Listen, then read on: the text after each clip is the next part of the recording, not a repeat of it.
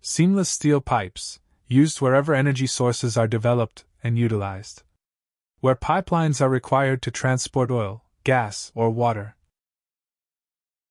Where boiler tubes must withstand extreme temperature and pressure loads. And where square or rectangular hollow sections support entire halls and buildings. They serve in applications such as mine props and hydraulic cylinders, in moving large masses, and in the manufacture of steel cylinders and containers. Everywhere, high quality steel pipes are essential. In the Krupp Mannesmann Steelworks, crude steel is melted down to serve as the raw material for various pipe manufacturing processes. After being poured from the converter and alloying elements added, the molten steel enters the continuous casting plant. In up to six strands, round billets of various diameters are continuously cast and cut to length. Delivery of billets to the tube mill facility is carried out with each piece labeled for identification, indicating the heat number, material grade, and weight. The starting material, available in diameters of 220, 270, and 310 mm and in the ordered lengths, is stored in the billet yard where it is sorted by material grade and heat number. For small batch quantities, the billets are cut to the required individual lengths using a carbide tipped saw and labeled again for identification. The centered billets, with a maximum length of 4.7 meters and a maximum unit weight of 2.8 tons, are transported to the preheating furnace. In the natural gas fired walking beam furnace, the billets are preheated to a temperature of approximately 700 degrees Celsius. Transport to the rotary hearth furnace.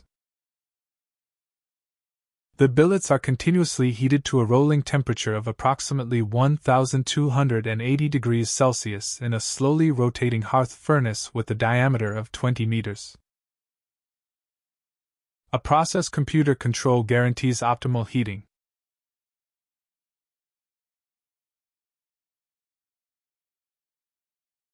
After more than an hour, the billets exit the rotary hearth furnace at 30 second intervals. That equals a throughput of 120 billets per hour. The hot billet is transported to the rolling mill by conveyor.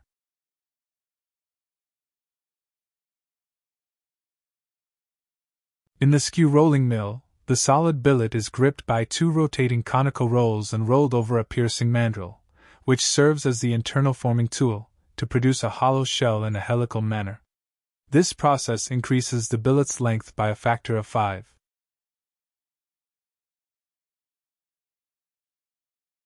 After rolling, the mandrel bar is withdrawn, and the piercing mandrel is automatically changed.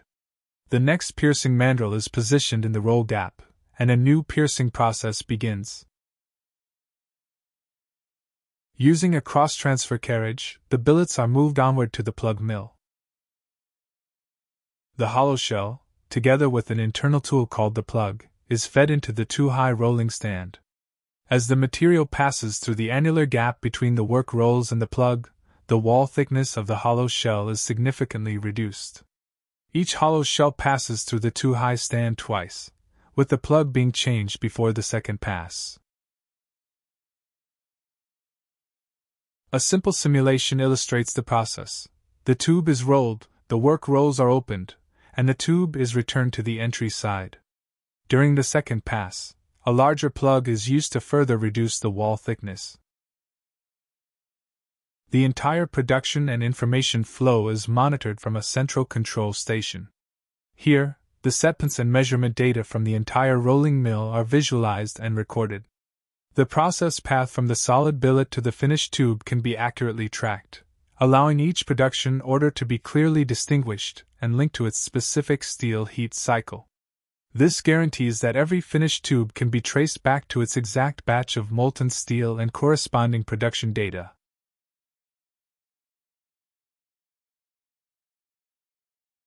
The next step in the process is to ensure dimensional accuracy. In a helical pass, the inner and outer surfaces are smooth between the rolls and the internal tool. A walking beam furnace compensates for the temperature lost by reheating the tube to approximately 900 degrees Celsius. After descaling, the tube is formed in the sizing mill, which consists of 10 stands. Through gradual reduction from stand to stand, each tube achieves the specified final diameter.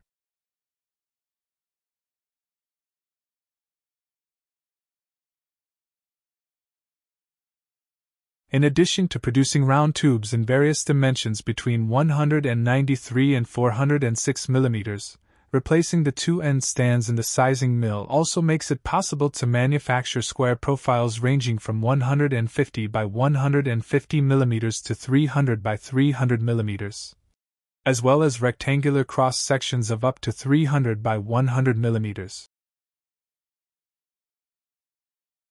Following cooling on the cooling bed, the tubes pass through a water bath. The roller straightening machine ensures that the pipes, which can be up to 15 meters in length, meet the required specifications for straightness and roundness. First, visual inspection. Then comes a non destructive end inspection, which automatically determines the length of the end cut. The pipe ends are then removed using the rotary milling machine.